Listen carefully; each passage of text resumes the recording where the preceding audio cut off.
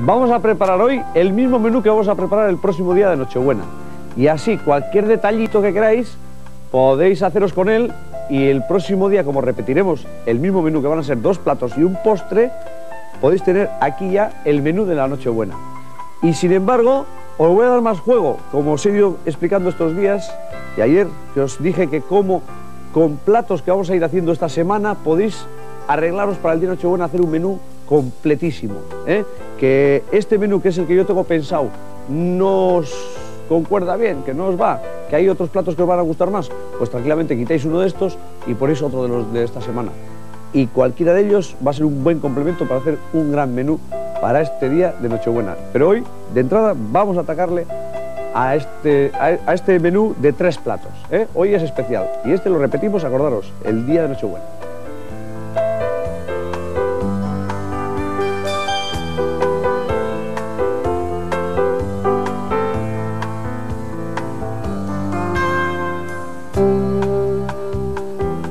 Qué bonita es la Navidad, qué bonita, pero qué cara suele ser.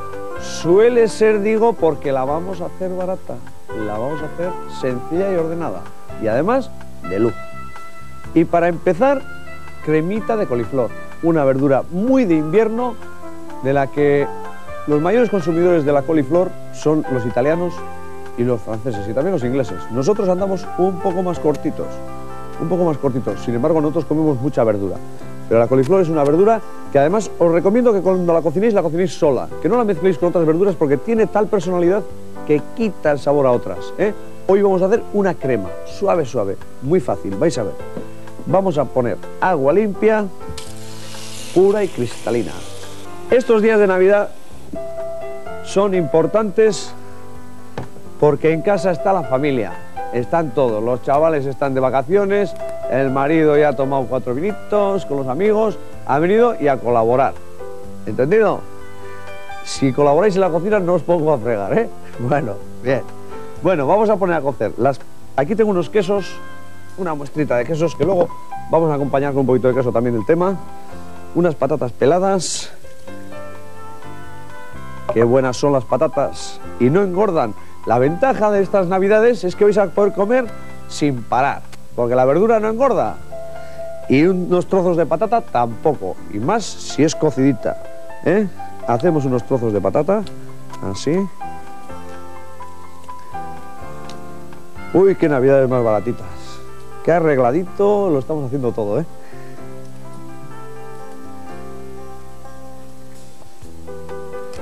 patatitas. Ya sabéis que hay dos tipos, hay dos, dos patatas que tienen label de calidad. Es una, hay una patata gallega y la patata de Álava. ¿eh?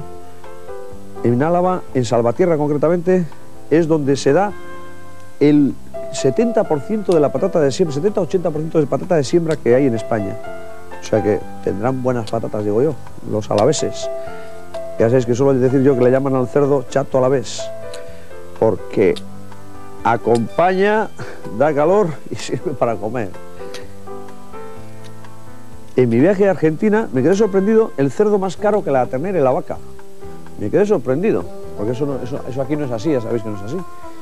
Y la explicación debe ser bastante fácil. Dice que en Argentina, como tienen tanto prado, tanta hierba y demás, pues entonces es mucho más lucido que las vacas que crecen solas por el campo, se hacen grandísimas y los cerdos hay que darles de comer, hay que limpiar, hay que no sé qué.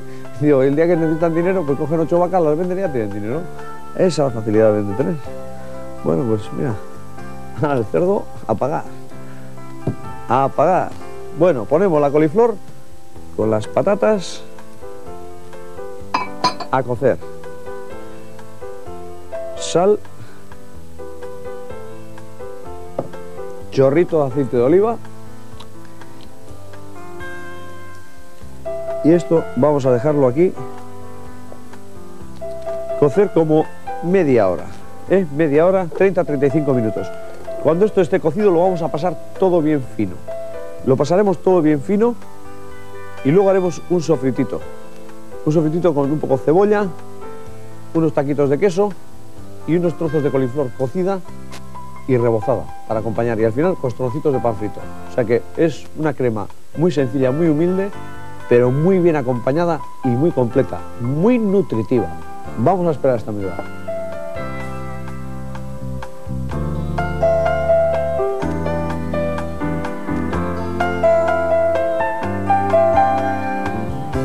A mitad de cocción le he puesto la cebollita y los taquitos de queso. Un queso el que a vosotros os agrade. ¿eh? A mí me gustan los quesos que sean un poco suaves, que no tengan demasiada... Que la, crema de coliflor, que sea coliflor lo que predomine, con un toquecillo a queso. ¿eh? En este caso le he puesto un poco queso de cabra. Voy a pasarlo todo bien pasado, fino, fino.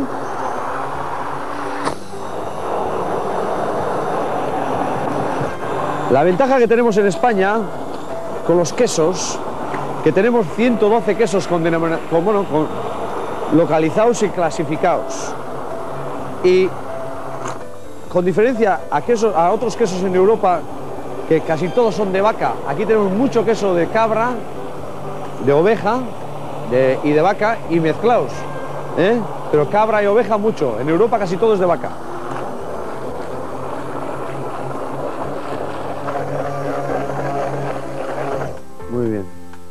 ¿Cómo sube el aroma a coliflor y la aromita a queso? Perfecto. Bueno, voy a colocar la crema. Bueno, la voy a, aguantar ahí un rato mientras, mientras freímos los trozos de coliflor y los trocitos de pan. ¿eh? Vamos a ver. Encendemos estos dos fuegos. Ponemos chorrito de aceite en cada uno de ellos este para los trozos de coliflor y este para los casquitos de pan. Vais a ver qué lucido queda y qué, qué crema hemos hecho más sencilla, más baratita, sin ningún problema. Unos taquitos de coliflor que están cocidos, pasamos por harina y por huevo. Harina y huevo. Sencillo, ¿eh? Esto es para que vaya con tropiezos, como nuestras famosísimas paellas. Con tropiezos o sin... Ya sabéis, pero con las paellas a uno le gusta con tropiezos, a otros sin tropiezos, ¿eh? A mucha gente le gusta el arroz y pasa de los tropiezos. Un arroz con conejo, conejito, pero sin huesos, quitándole la carnecita, limpia, limpia, blanca, blanca. Bueno, con esto me va a valer. Así. Retiro esto. Pasamos bien por la harina. Quitamos casi toda. Así. Retiramos la harina, nos lavamos las manitas. Muy importante la limpieza, muy importante.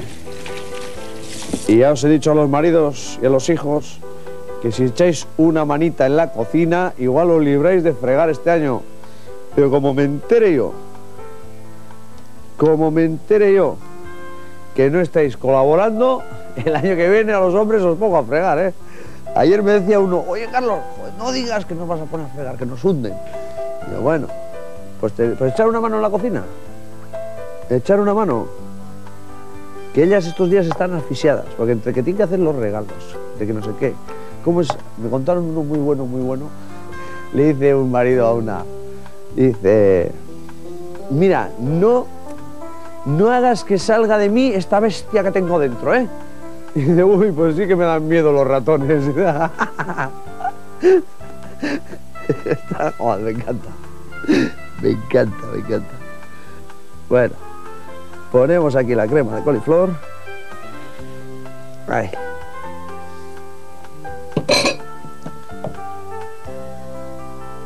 Mira qué presencia, ¿eh? Ahí está.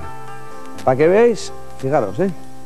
Le voy a echar en crudo un chorritín y nada, aceite de olivas. Ay, para darle saborío. Vamos a freír los casquitos de pan aquí.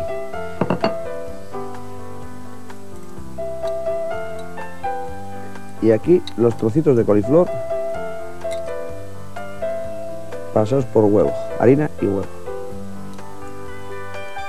Este va a ser el acompañamiento feliz. Venga.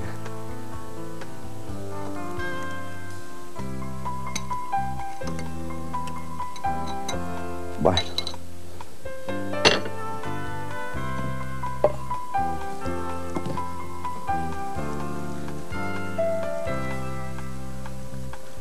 Esto va a arde. Perfecto.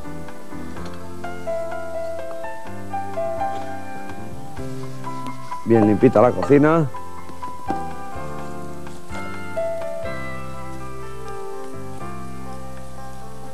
Bueno, primero los costroncitos, estos ya los tengo. Los vamos sacando aquí. Estos costrones recién salidos de la sartén y al minuto todavía suelen quemar, ¿eh? Estaros atentos, que ricos son riquísimos, pero como alguno ahora le digas, toma, coge, si lo coge en la mano lo suelta rápido.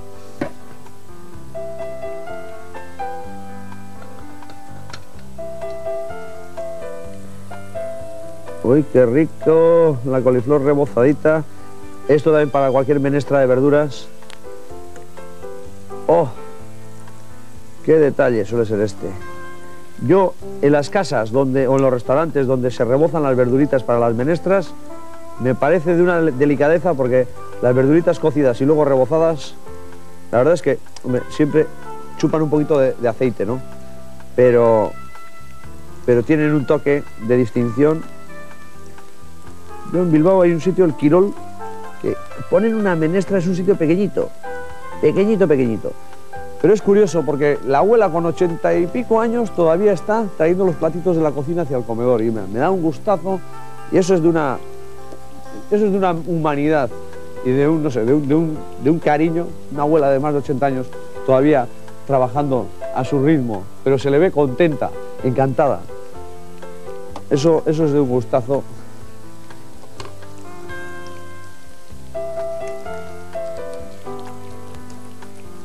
Y la Navidad, si hay algo que es tierno en esta, en esta, vida, son estos días, ¿no? Que nos podamos juntar las familias, que vienen los familiares de, lejos, de haber trabajado, de haber sufrido y de haber aguantado. Pues se aguanta cantidad. Pues hay que saber sacar provecho a estos días en casa, ¿eh? Que no hay nada, nada más gratificante que una familia en el entorno de una mesa y como sé que no os lo voy a complicar con el precio, os voy a dar la oportunidad de poder estar todos juntos y disfrutando. El que quiera angulas que las compre, que pueda que las compre, pero yo sé que la gente tiene muchas limitaciones. Yo por eso me preocupo de hacer algo que sirva para todos. Bueno, y aquí ahora, los costroncitos